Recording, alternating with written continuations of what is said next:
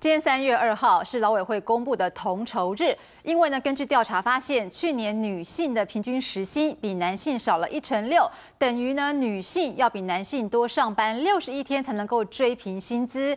而从元旦算到今天三月二号呢，刚好是六十一天，所以今天是同酬日。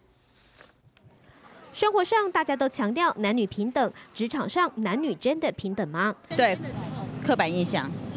对，还是会根深蒂固。这种男生能力比较强。对，或者是说女孩子结婚以后要家庭各方面的东西都会有影响。薪资上是还好，但是就是工作被肯定度上面会有不同感受。对，因为分配就分配的比较不均啦。有些上班族女性还是明显感受到，不管是交付重要任务或是升迁，男性都比女性占优势。而劳委会根据行政院主计总处的资料，也算出女性去年平均薪资比男性少一成六，等于女性要比男性多上班六十一天。两性之间的性别的这个薪资的这个差距啊，从去年的啊百分之十七点三，那降到今年的百分之十六点六。那么这个数据呢，啊，我们换算出来就是啊，女性呢，呃，在工作上要多比男性多了六十一天。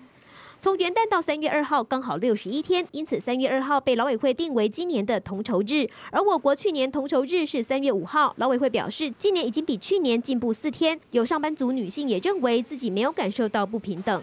我们公司男女的比例差不多啊，然后但是女生的薪资其实也都跟男生差不多。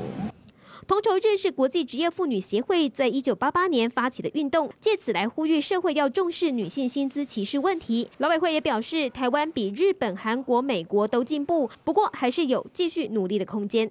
记者综合报道。